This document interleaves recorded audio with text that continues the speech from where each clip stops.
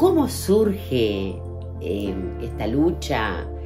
Inspirada en un libro del reverendo Martin Luther King Jr., ¿Por qué no podemos esperar?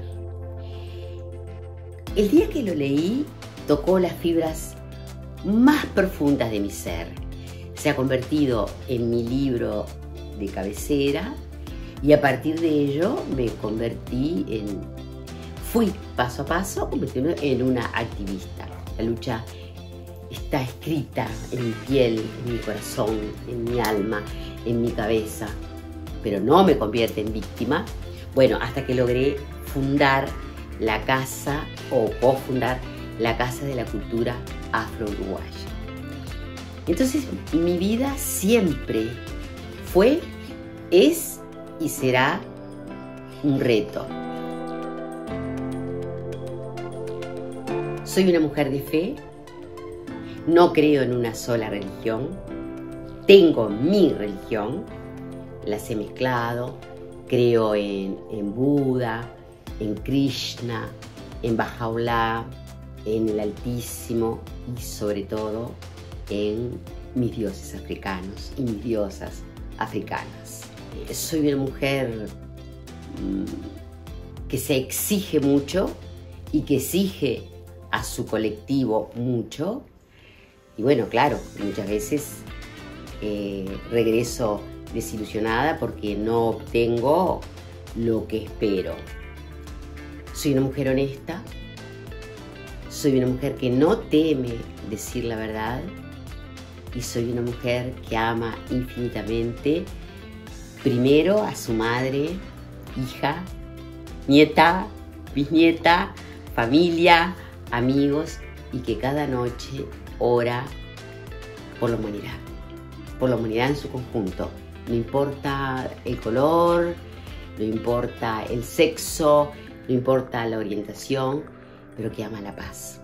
Esa paz que tanto bregó Dr. Martin Luther King. A su vez creo que tenemos que resignificar nuestra historia a partir de nuestra voz, del colectivo afro-uruguayo porque lamentablemente nuestra historia, ¿quién la escribió? Los otros, quienes nos dominaban. Entonces vuelvo a, digamos, a mi inspiración, el doctor Martin Luther King Jr. Él decía, no solo vamos a luchar por los afroamericanos, vamos a luchar por los desposeídos de la tierra no tienen color. Son seres humanos que sufren, que lloran, que sangran, que tienen ilusiones, que esperan otro futuro. Y realmente amo esa figura, amo ese ser, me inspira cada día y escribí a la Fundación Martin Luther King y Coretta King respondió y se puso a las órdenes. Y bueno, de ahí surgió Memorias de una mujer negra, en la cual em, cuento mi historia, lo vivido, mi entorno, mi familia, mis amigos.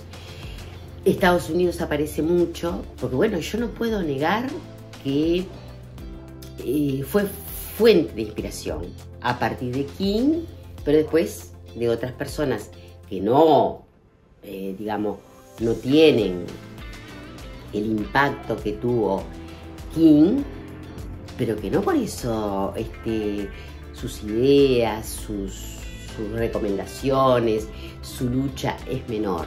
No, al contrario.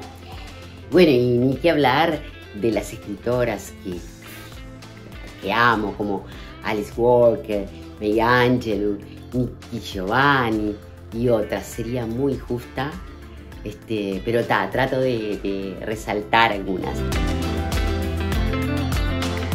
Hoy tenemos herramientas de la cual antes carecíamos, porque olvídate de que cuando yo tenía 5 años se hablara de racismo, se hablara de racismo estructural, se hablará de racismo institucional, eh, se hablará de otras comunidades que sufren al igual que nosotros, pero no nos engañemos. Por ejemplo, en carnaval, ah, para nosotros los afros, no quiero referirme en este momento a otras personas, para nosotros los afros nos permite visibilidad. Estamos en la vidriera, vienen de todas partes del mundo a ver nuestras llamadas. Y somos diosas, somos dioses. Pero, como dice el proverbio, dura lo que dura un lirio. Se va pronto. Y cuando todo esto termina, tú volves a los problemas cotidianos, a lo que nos acongoja, a lo que nos frustra, a lo que nos amarga. Tal vez tengamos que vestirnos interiormente de ese disfraz al que te lleva el carnaval para tener fuerzas y luchar día a día por tener esos días de visibilidad.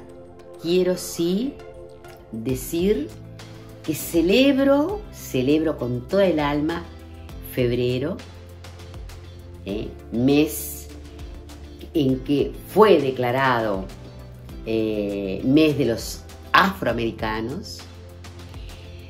Eh, pienso en Abraham Lincoln, pienso en Douglas, pienso en King, pienso en Angela y pienso en tanta y tanto mujer y hombre y niño y niña desconocidos que día a día contribuyen a que United States of America sea un maravilloso país diverso, rico en culturas, pero con sus falencias, con sus errores, con sus no aciertos, como todos los demás.